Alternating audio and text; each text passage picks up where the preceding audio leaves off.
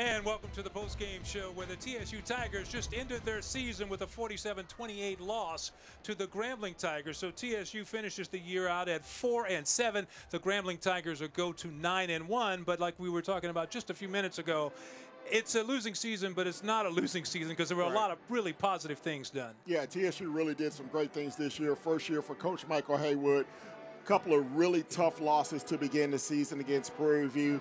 Um, lost their starting quarterback, Jay Kristoff, in that game. They really have to revamp their entire offense on the fly the second half of the season had some really good wins in the middle of the season, that four-game winning streak, and uh, finish it up with a tough loss here this afternoon and they came, came in here and really shocked these Grambling Tigers for yeah. at least a half here. Let's take a look at some of the highlights now, if we can roll the tape and take a look, because what an exciting first half, and that's Martez Carter going in for the first score of the ball game, and then check out Averion Hurts with a perfect pass to Austin Watts. Yeah, just laid top. that thing out there, and then I, I keep saying I love this guy, Bernie, just diving in for a touchdown showing off his power. And then look at TSU. Hurts again to Malik Webb.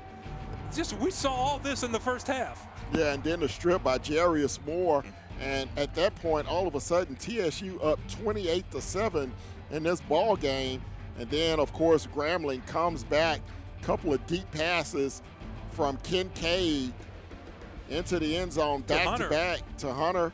Verlin Hunter from and Kincade. And then one right before the end of the half and that gives Grambling the lead, and then they start to pour it on in the second half, picking apart the Texas Southern secondary. And their kicker had the best day of his life this afternoon. And what a great day for Malik Webb, though. He did. He came in. He's a young fella. He came in, got involved with the offense, and made some big plays. And that was one he almost made there and as you can see, Devontae Kincade, though, he, he lived up to the hype today. Yeah, absolutely. He had that little streak in the second quarter where he showed what all the hype's been about. And then they had that one-two punch on the ground of Kelly and Carter. Zeke Carter going outside, turning it inside, and then diving for the pylon. And then the defense of Grambling making some big stops. Kincade got beat up in the second half, had to leave the ball game. As you see, Jarius Moore make a big play there.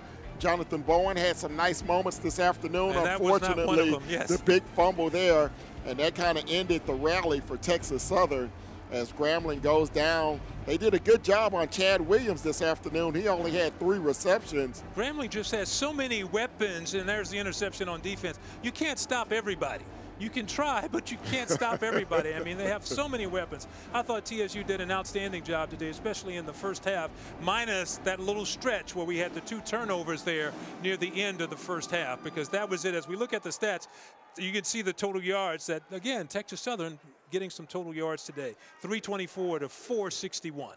Yeah, absolutely. And you look at the offensive numbers 133 yards on the ground for the Tigers, 191 through the air but Grambling really rushing the football, particularly in the second half with Carter and Kelly picking up 269 yards on yeah. the ground. Kelly with 133 on 20 carries, and Carter with 122 on just 10 carries. Wow, that, that kid was getting on my nerves all day long. but the big receiver for TSU this afternoon, Malik Webb, led the team with seven receptions for 89 yards.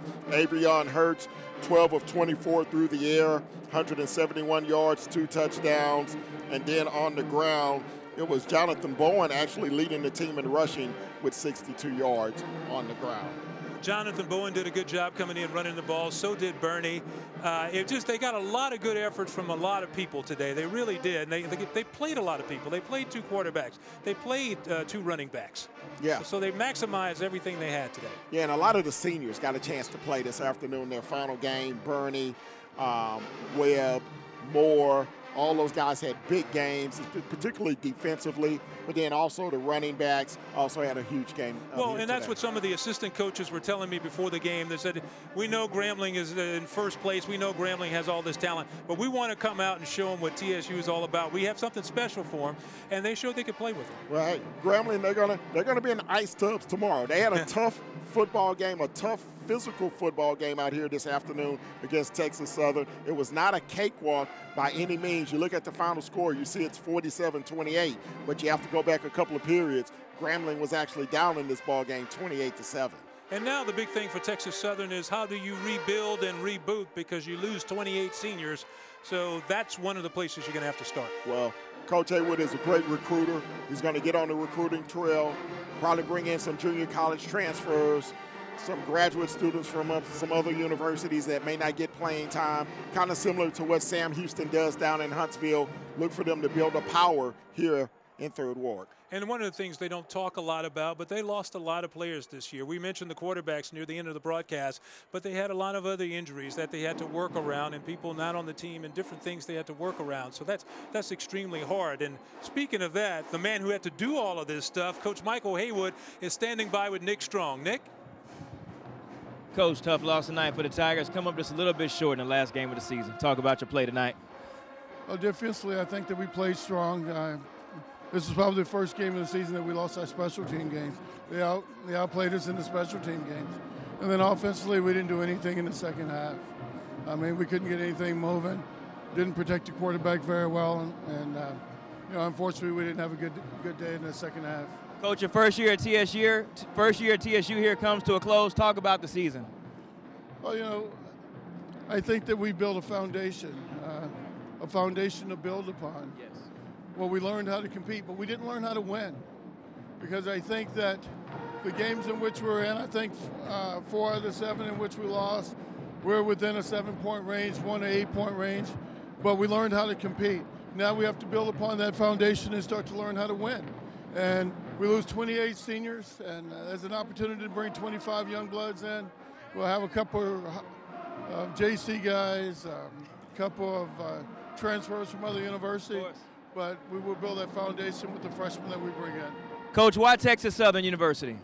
Texas Southern University, outstanding academic school, a great place. Uh, if you're looking for an outstanding foundation to build, a great academics, great football, and a great social environment.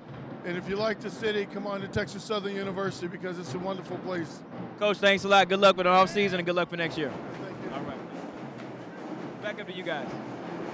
Well, we learned how to compete, but we didn't learn how to win. That's for next season to learn how to win. For Ken Moore and our entire crew, I'm Butch Alcindor. Be safe and have a great night.